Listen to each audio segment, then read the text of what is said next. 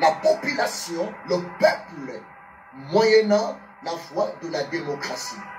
C'est pour cela, mes amis politiciens, s'il vous plaît, je vous demande d'avoir un peu de la compassion pour le peuple que vous dirigez. C'est tellement important, s'il vous plaît. Parce que tant que le peuple souffre, tant que le peuple sont écrasés, tant que le peuple réclame leurs droits selon la justice, l'éternel Dieu est toujours derrière le champ qui pratique de la justice à la lumière de sa parole. Craignons Dieu, s'il vous plaît. Après tout, tout passera.